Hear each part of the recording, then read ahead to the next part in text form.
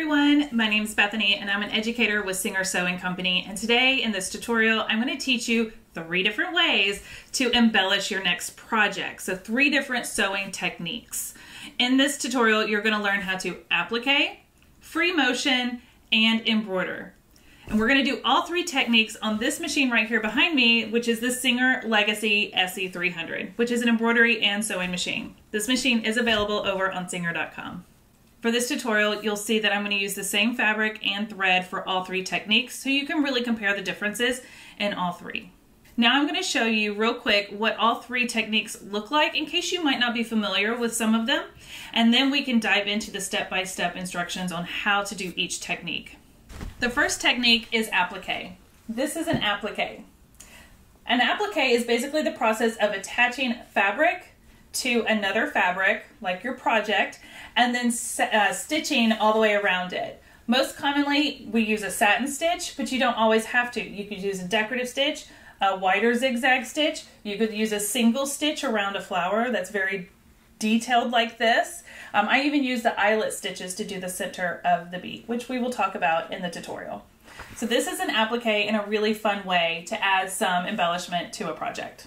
The next technique is free motion. Now you've probably heard of free motion when it comes to quilting, but today I'm going to teach you how to do free motion sewing and write a word.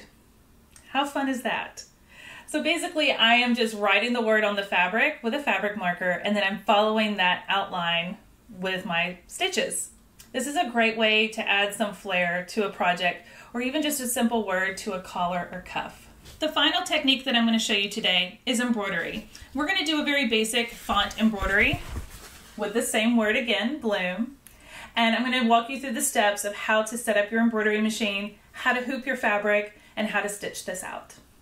Now before we get started on the machine, I want to let you know that there is a link in the description that has a full step-by-step -step written tutorial as well. I highly recommend downloading that tutorial, taking some notes as we go along through this video. So that way you can reference it when you do decide to apply one of these sewing techniques to your next project. The full tutorial that has all of the steps for today's lesson also includes information that's very important for preparing your materials for these sewing techniques. Some of those things that you need to know is the type of stabilizer to use and the type of thread to use and how to bond your applique pieces to your fabric before stitching around the applique. So things like tearaway stabilizer are very important. A double-sided fusible adhesive to attach your letters, and then using the right rayon thread for your satin stitch on your applique and these other embroidery and free motion designs. So be sure to use that link in the description to get that full detailed tutorial and make sure you're setting yourself up for success when practicing these techniques.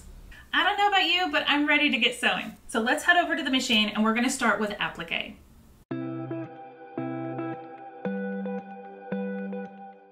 First we need to attach the clear open toe decorative foot to the sewing machine.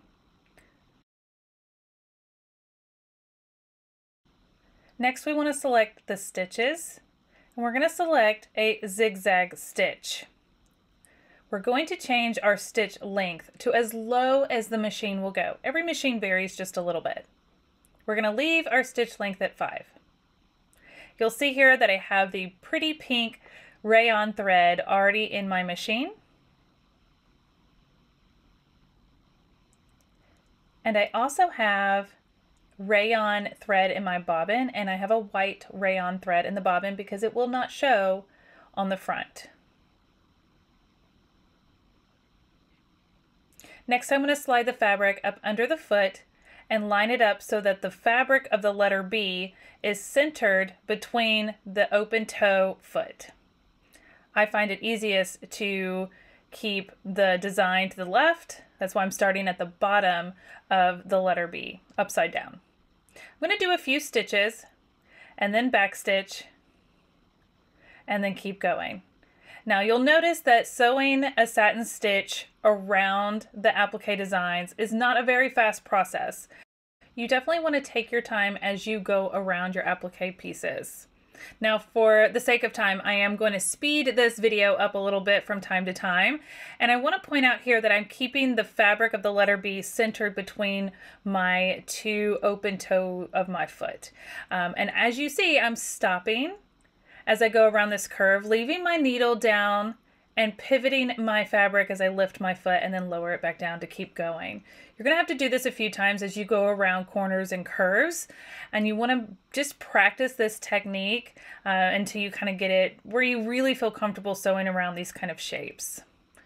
When you're first starting with applique, I recommend starting with a simple shape like a square and then work your way up to a circle and then start doing fun shapes and letters. There you go. Now you're going to continue to sew the same satin stitch around the letter L and the letter M, but look how great that B turned out. Now for the flowers, it's going to be hard to do that thick bold satin stitch around these tiny little petals. So you don't always have to do that kind of stitch to applique. Here I'm showing you how I'm doing a simple straight stitch around the edge of the petals and the, and the flower uh, as I work my way around, just stopping and pivoting around the fabric. You can also use other fun decorative stitches to applique around your shapes and letters. Next, I'm going to show you where the eyelet stitch is on the machine, which is stitch number 31 for this Legacy SE300. And it shows you the stitch right here on the screen. You can adjust the stitch width and the stitch length to increase or decrease the size of the eyelet. You're going to need a pretty good size circle for the center of the flowers and the center of the letter B's and for those tiny little holes. I find doing this eyelet stitch is much easier than trying to do the satin stitch all the way around. Now here I am stitching out the eyelet. You'll see that the first time around it's not very bold and I want it to look like my satin stitch around my letters. So I actually did the eyelet stitch three times all the way around the center to fill it in completely. And I think it's what turned it out really well. I will tell you I did practice this away from my applique on a scrap piece of fabric before I did it on the applique to make sure I had the right size and settings. And here is the letter B.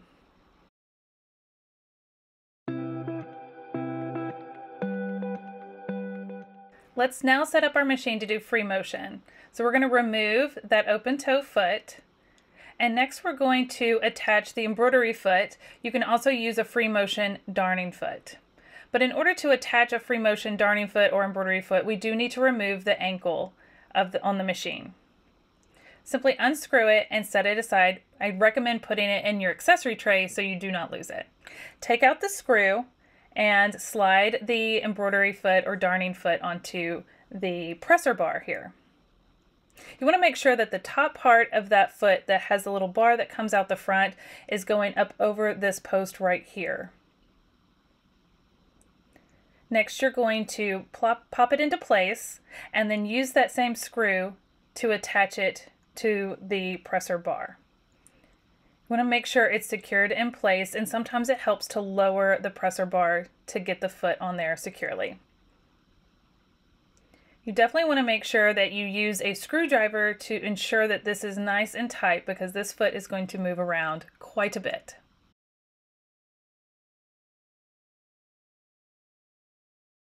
On the back of your machine, we are going to remove the removable extension table that holds the accessory tray and you will find a drop feed lever. You're going to slide this lever over to lower the feed dogs. You'll see the feed dogs lower on that needle plate. We want to keep the feed dogs down and inactive. When we're done with that, we can reattach that extension table. Next, we're going to set our machine to a zigzag stitch again. This time, the stitch length doesn't matter because it's free motion. What matters is the stitch width, which I'm going to leave at 5, but you can really play around with this and get a lot of different looks adjusting the stitch width. You don't even have to use a zigzag stitch. You could use a straight stitch and other stitches with free motion. Here you'll see that I used a fabric pen to write the word bloom on the front of my fabric and I have a tearaway stabilizer on the back. I'm going to slide my fabric up under my foot and I like to start at the beginning of the letter B. I find it easiest to work left to right when writing a font with free motion stitches. Next you're going to want to hold your top thread, drop the needle, bring it back up and gently pull that top thread to bring the bobbin thread to the top. Once you have both threads to the top, you're going to lower your foot and you're going to start your stitches. Just do a few stitches to get going and to secure your thread. Once you've done a few stitches, you can stop and trim those thread tails so they are out of the way.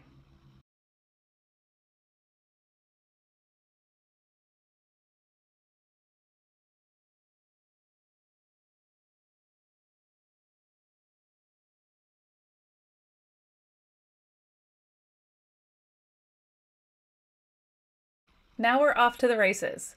This zigzag stitch is going to go back and forth and we're going to follow our line, our word that we wrote. Now it's going to take some getting used to with free motion. Some things I want to point out here while you watch me do this in real time is that the stitch width for the zigzag stitch cannot be wider than the opening in your embroidery or uh, darning foot. So you want to make sure that you are setting your stitch to an appropriate width for your foot. They're not all the same width. And then you want to see that I am going back and forth over the same area a few times um, to really fill it in and make it nice and bold. This is a personal preference of mine. You do not have to do this. You can go over the whole thing once and then do it again until you get the thickness. I find it easier to break it up into smaller sections.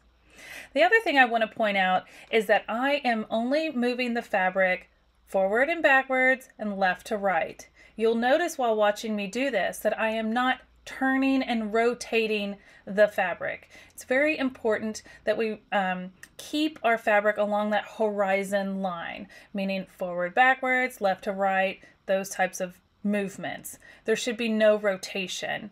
That's when it gets really messy and you no longer have control of your free motion. One of the things I love most about free motion is that you do have control over a lot of aspects of the sewing. So the feed dogs are down. There is nothing moving the fabric under the needle. You are moving it with your hand. So you're going to have both hands placed on top of the fabric and gently slide it around following your outline.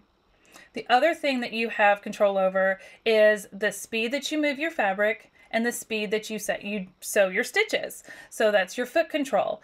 One way to help get, not get away with your stitches and go too fast is to lower the speed control on your sewing machine.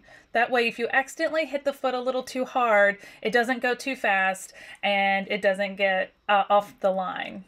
Now I want to point out as I'm going around this curve of the V, I am not turning the fabric with the curve. I am just sliding it so that it goes right under the foot. Again, those that horizon line is so important. So sometimes when you do that, the thickness of those stitches along that line may adjust a little bit, almost like calligraphy. It feels like you're writing calligraphy with stitches and it's so beautiful. And I love that every time I do a free motion design like this, no two really look the same and it makes a fun personalized uh, stitch technique. As we continue to watch me stitch this out in real time, I want you to know that when I first started doing free motion sewing, it did not look this good the first time I did it. It does take some practice to get the technique and get comfortable with moving the fabric and controlling your speed at the same time. But once you get the hang of it, it is so much fun. So now I'm going to speed up the video. I'm going to stitch out the rest of the word bloom in fast motion and you can watch how my fabric is moving as I stitch.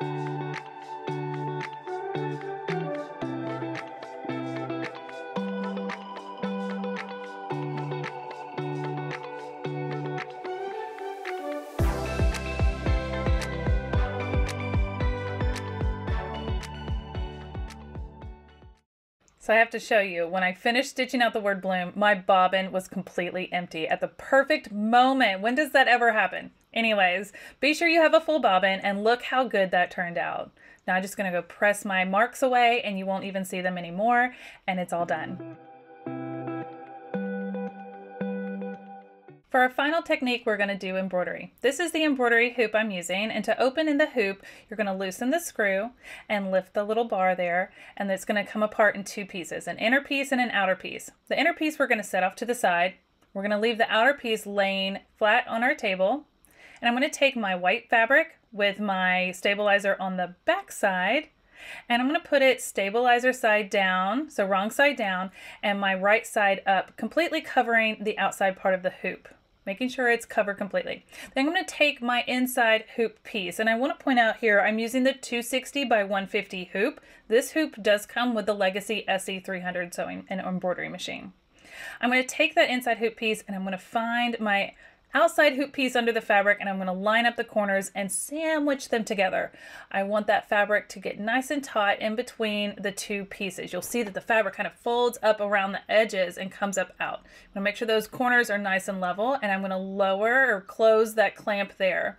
Now if this clamp will not close because it's too tight because we added that fabric, you can adjust the screw a little bit. You do not want to force it too hard. And now our fabric is nice and tight in the center of our embroidery hoop. And I've made sure that all of my corners are nice and level and flat with the two pieces. And we're ready to attach our embroidery hoop. Before we can attach the embroidery hoop, we need to remove that extension table again. This time we're going to set it off to the side because we need to attach the embroidery arm to the machine. This is a bigger attachment and you want to make sure you have plenty of clearance for that arm to move around as we embroider.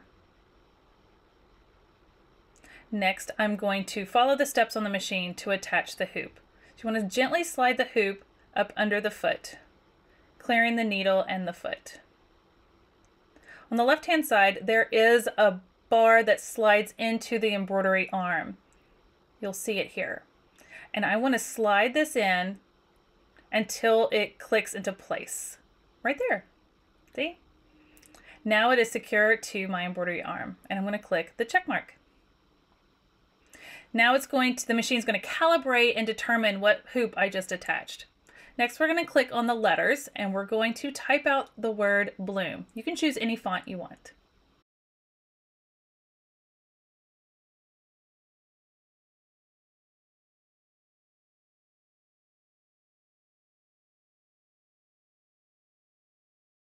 Once you get the word bloom typed out, click the check the arm is going to move around a little more, and now we have all of the settings to really customize this embroidery. All of these settings across the bottom you can play with and move around and adjust, like the size. You want to make sure you have the right hoop size as well, which is listed right here. And then you can also uh, move the position of your embroidery design as well. And this will tell you how many stitches are in the design and how many different steps or colors. Here you'll see that I'm going to increase my embroidery design up to 20% bigger than it is originally set at.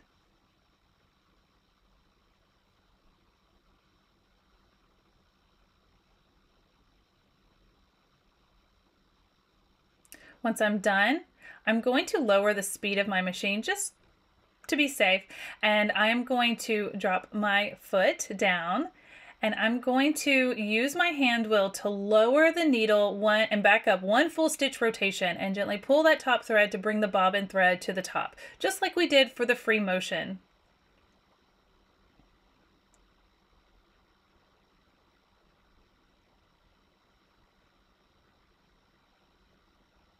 Once you have both threads to the top, lower the foot and hit play. It's going to move around a little bit and then start its first stitches. Once it's done a few stitches, the machine's going to stop again and ask you to trim your threads so that they're out of the way. Once you've trimmed your threads, you can click the check mark.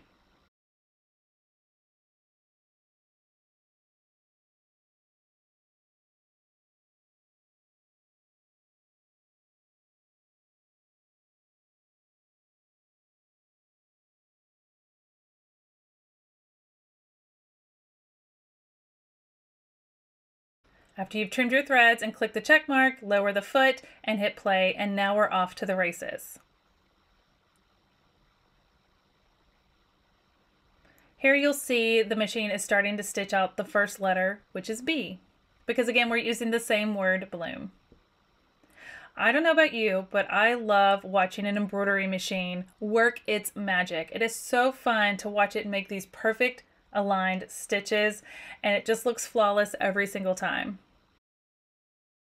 So now I'm going to speed up the video a little bit. It's going to go really fast, but I want you to be able to watch it stitch out the entire word bloom. And what I want to point out is at the end of a letter, of every single letter, it's going to give you a few extra stitches and then it's going to stop and ask you to trim your threads and then you're going to hit play again to start the next letter.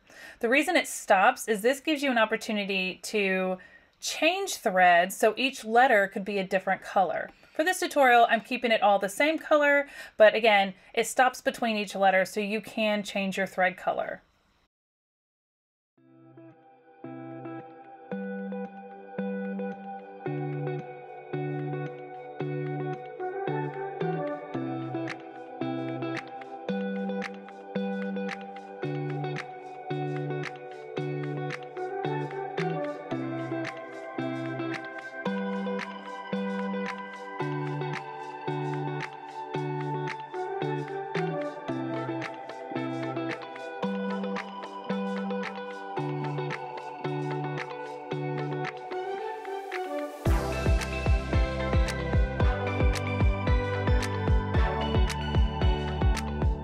Now that the design is done being stitched out, we're going to lift our foot and time to remove our hoop. This little button right here is what you want to press down to release the hoop from the embroidery arm. You want to make sure you have plenty of clearance for your hoop on the foot. If you don't, don't forget to lift that extra lift on the foot to get it out safely. And look how great this turned out. I love it.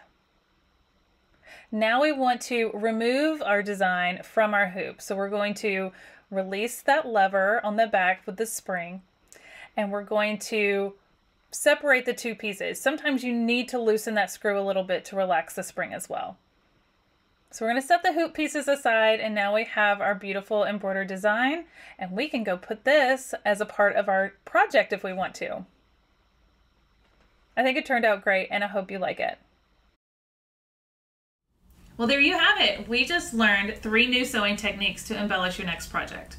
I cannot wait to see what you create, so be sure to use the hashtag SingerSewing so we can see your finished projects when you share them online with your friends. Also take a minute to like this video and leave us a comment with what you learned from this tutorial. Be sure to share this tutorial with your other sewing friends so they can learn it as well. And until I see you again, happy sewing!